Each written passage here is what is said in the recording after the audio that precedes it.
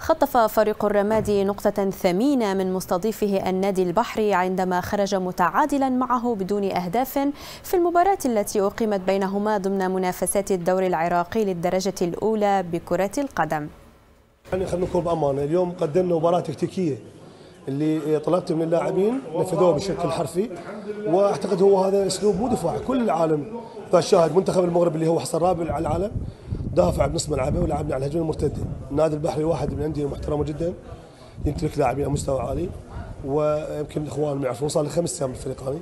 يمكن اليوم لعبت لاعبين أول مرة يلعبون. أعتقد آه، نقطة ممتازة جدا.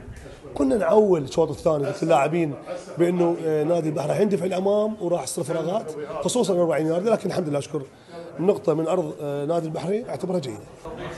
الفريق قدم مباراة كبيرة قدر أن يصنع نقطة من نادي البحري، نادي البحري بالترتيب أعلى من عندنا. فالحمد لله اشكر جهود مشكورة من قبل الكادر التدريبي. قرأ المباراة بصورة صحيحة وأيضا الأخوان المساعدين أيضا ما قصروا من اللاعبين جهد أنظم جهد مضاعف في سبيل حصد نقطة أو ثلاث نقاط من فريق منافس فريق صعب.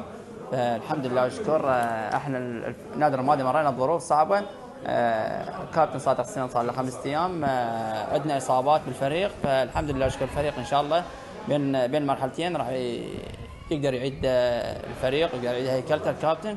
بالنسبة لنا نعم لأن خارج ملعبنا مدرب جديد عندنا خمس لاعبين نقص لاعب خمس لاعبين أساسيين وعندنا لاعبين جدد هاي أول مباراة يشتركون. نعتبرها الحمد لله رب العالمين. وكنا إحنا أقرب للفوز آخر فرصة بس الحمد لله نقدر نقول. يعني شفنا إنه فريقكم من أجل التعادل تقريبا حسب الخطة اللي شفناها. نعم نعم نعم. إحنا جايين عن نقطة بس إذا جت الثلاث هم الحمد لله.